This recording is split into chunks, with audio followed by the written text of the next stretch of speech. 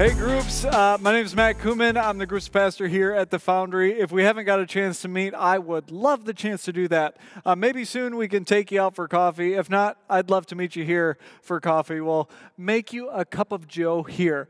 Um, as we, uh, before we get continued, before we get continued, that makes sense. Before we continue with groups questions today, um, I want to ask you the teaser question um, because we're looking at different roads uh, that we'll be on over the next year. I want you to think about cars or vehicles.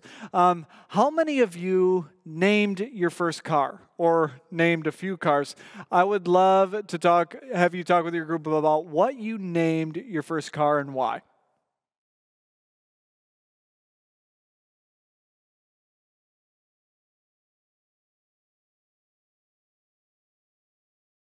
All right, groups. So this week uh, was our second week on the teaching of content of character. Um, and we're looking at the different characteristics that we should have in the back of our backpack for the road of life and what some of those things are going to entail. Last week we talked about being teachable.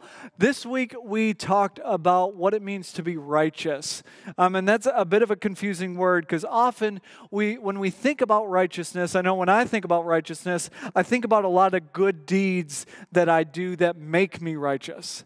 But yet, what we learned, I hope, I hope you learned this week, is that this idea that righteousness is not something that we can attain by doing good things. Righteousness only happens by allowing Jesus Christ to live through our lives because of what Jesus Christ did on the cross for our sins. Um, so, good things will happen and good things will come out of our lives if we're living in righteousness, but those things will only point further towards Christ Jesus. So, when you're thinking about the good behaviors that you have and that you're doing, our goal is that those good things only point to Christ because if they're not pointing to Christ, maybe think about who those where that motive is and what those things are pointing to. So let's jump right into questions. Uh, the first one is this When you hear the word righteous, what comes to mind?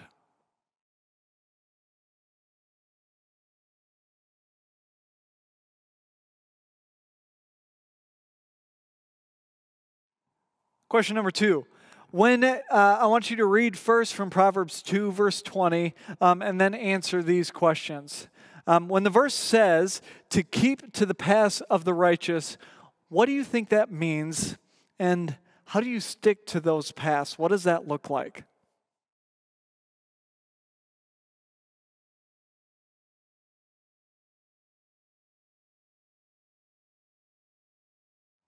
Next thing I want you guys to read as a group a minute is from Genesis 6, verse 9 through 12. And then uh, you'll discuss this question together. Um, in Noah's days, you'll read about this. In Noah's day, there was a lot of corruption in the world, and he was trying to live outside of that. He was trying to still allow God to work through his life, even though he was surrounded by corruption. Um, here's a question What kind of corruption do you see in the world today?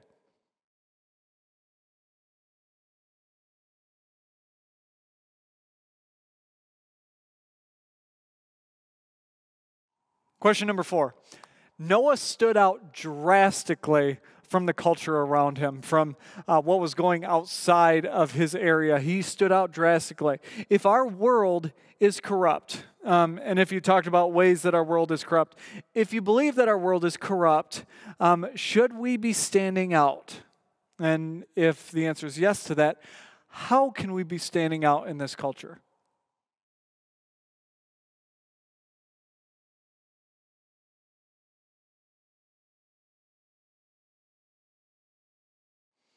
Question number five, um, and this is the last question out of our normal discussion, so I want you guys to spend some time in this one. It is so easy to stand by instead of stand out. I'm going to say that again. It's easy to stand by instead of stand out. Um, it's way easier to not participate in something corrupt and say, "Nope, I'm not. I'm not going to do it." So that makes me better. Um, they're bad people, but I'm just not going to participate. That's one thing. To take the next step um, to try and actually stop those things from happening is a very different world. So here's the questions that come out of this What are you standing by with that you should be standing out in?